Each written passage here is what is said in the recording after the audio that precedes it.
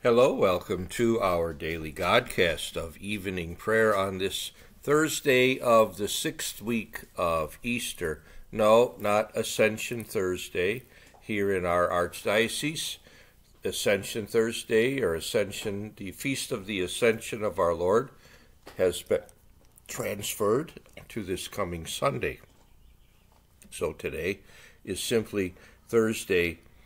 Uh, the th- the sixth of the sixth week of Easter, not a holy day of obligation. Uh, that has been, uh, like I said, the feast was moved to Sunday here in our archdiocese. Many archdioceses around uh, the world, around the country, and so uh, we we celebrate Ascension on Sunday. So today, uh, in our first reading, Paul finally gets to Corinth one of his uh, more successful uh, churches, a church to whom he wrote two letters. And today we see that uh, the uh, good news of the resurrection of Christ and of his uh, gospel message has gotten a foothold in Corinth. So thank you, St. Paul, for your hard work and efforts there. And I'm sure the people in that part of the world still celebrate their Christianity at a very, very deep level. Our gospel today, Jesus still trying to make himself clear to his disciples about the fact that he's going from them. He's getting ready to leave them. Uh, this talk he's giving them still taking place at the Last Supper, talking about how he's going to be going away. They're not going to see him, but then they will see him. you know, first they won't, and then they will. Um, and, you know, hey, come on. If someone were to tell you that, you know, um, you'd probably be a little bit confused as well. So we got to give our dear apostles a little break here. Uh, if they, you know, at first glance might seem a little dense, We've got 2,000 years of hindsight on our side. They were getting this live and in person, and um, probably a little disconcerting to them. But we too, you know, we we're going through this journey ourselves, and and you know we're we go through rough patches in our lives where we feel separated, separated from God. God, where are you? You know, but He uh, He's always with us. You know, and this, His presence is with us through the power of the Holy Spirit that He promises. And also, thanks be to God, His presence is also here with us in the, pres- in the form of the Holy Eucharist, the true presence of His body, blood, soul, and divinity, His gift to us, food for eternal life. And sometimes we feel separated from God, but we're really not. And as Jesus says today in the gospel, you know, our mourning and our sadness, our our our weeping will be turned to joy. And you know, the true joy is going to happen when we are resurrected with him, when we're face to face with him in his Father's kingdom for all eternity in the presence of God that's when we'll have the true rejoicing and the true joy. But here, even here on this journey, you know, let's celebrate those times when we feel His His presence, when we when we have that sense of, of belonging and being connected to Him. Hopefully, every time we attend Mass and and uh, the times between also, that that that sense of belonging lingers in our hearts.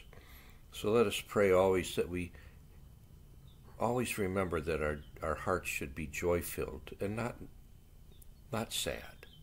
Sad due to separation, but joyful due to to connection, to a relationship with our Lord. So we pray our evening prayer. And I, am having to use my my liturgy, the hours book today because uh, all that they have in the iBreviary without any uh, um, options is ascension. so uh, we have to uh, uh, switch to paper. But that's fine. That's fine. I, I enjoy getting back into my breviary. Uh, just remind me of how to flip those pages back and forth and, and navigate the book. It's good to stay um, connected to my breviary as well.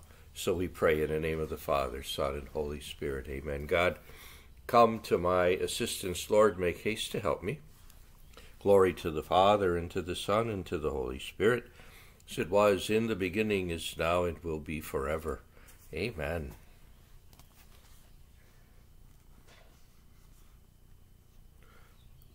God has appointed him to judge the living and the dead. Alleluia. O give O God, give your judgment to the king, to a king's son your justice, that he may judge your people in justice and the poor in right judgment. May the mountains bring forth for the people and the hills peace, forth peace for the people and the hills justice. May he defend the poor of the, of the people and save the children of the needy and crush the oppressor.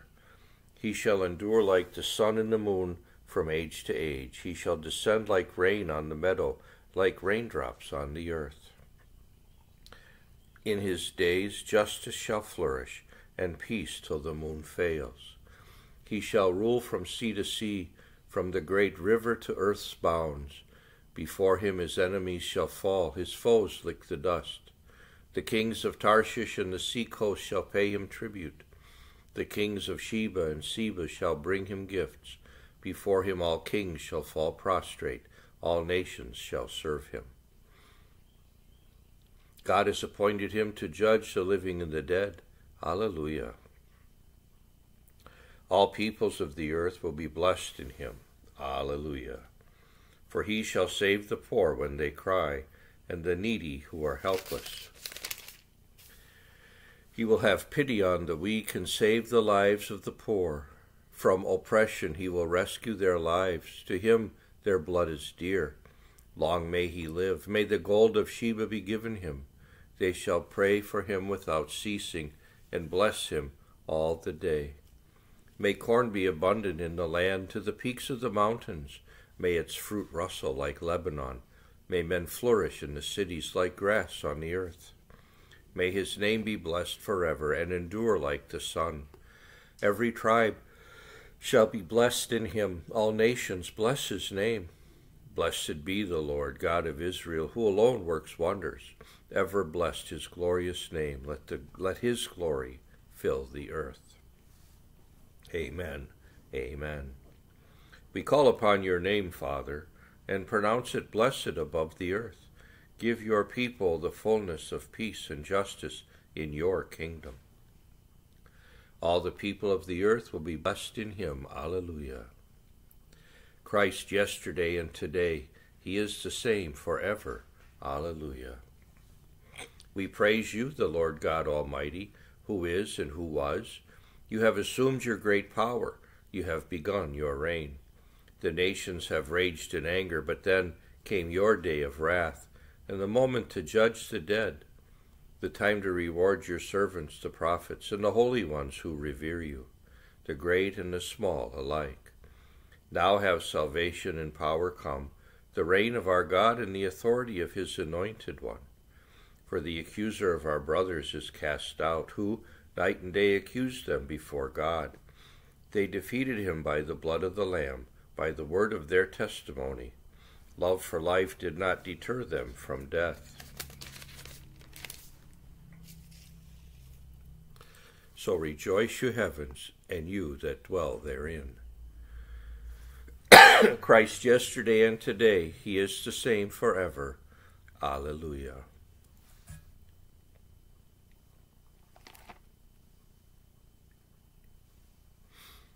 A reading from the first letter of St. Peter. The reason why Christ died for sins once for all, the just man for the sake of the unjust, was that he might lead us to God. He was put to death in so far as fleshly existence goes, but was given life in the realm of the Spirit. He went to heaven and is at God's right hand, with angelic rulers and powers subjected to him. The disciples rejoiced, Alleluia, Alleluia. The disciples rejoiced, Alleluia, Alleluia. When they saw the risen Lord, Alleluia, Alleluia. Glory to the Father, and to the Son, and to the Holy Spirit. The disciples rejoiced, Alleluia, Alleluia. Your sorrow will be turned into joy, and that joy no one will take from you. Alleluia.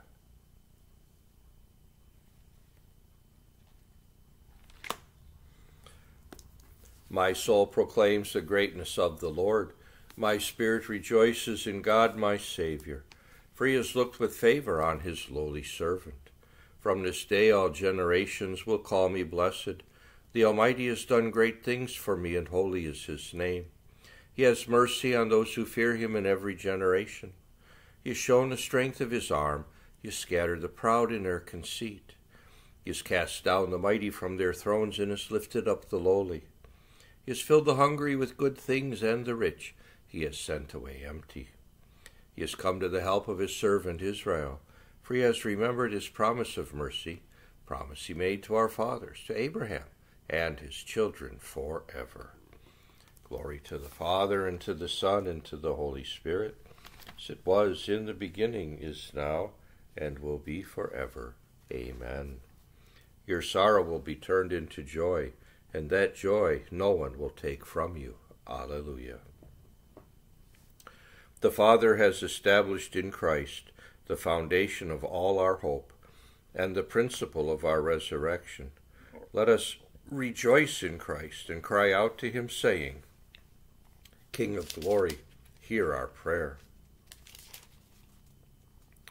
Lord Jesus, through your resurrection, you entered the sanctuary of heaven to offer the blood of your own sacrifice. Lead us with you into the glory of the Father. King of glory, hear our prayer. Through your resurrection, you confirmed the faith of your disciples and sent them out into the world.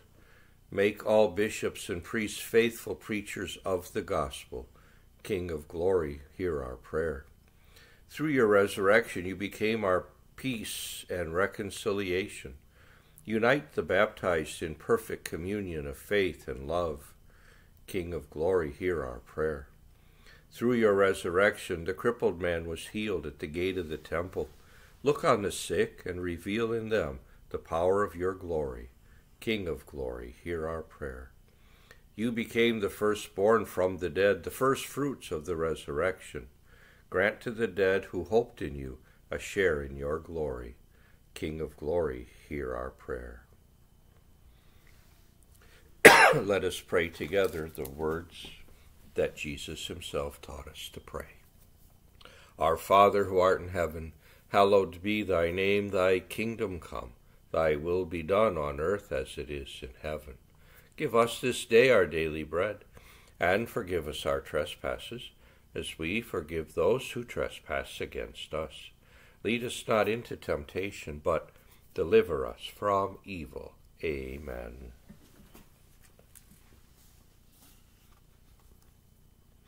Father, may we always give you thanks for raising Christ our Lord to glory, because we are his people and share the salvation he won. For he lives and reigns with you in the Holy Spirit, God, forever and ever. Amen. May the Lord bless us, protect us from all evil, and bring us to everlasting life. Amen. And may Almighty God bless you all, Father, Son, and Holy Spirit. Amen. Have a great night, everyone, and we'll see you all tomorrow.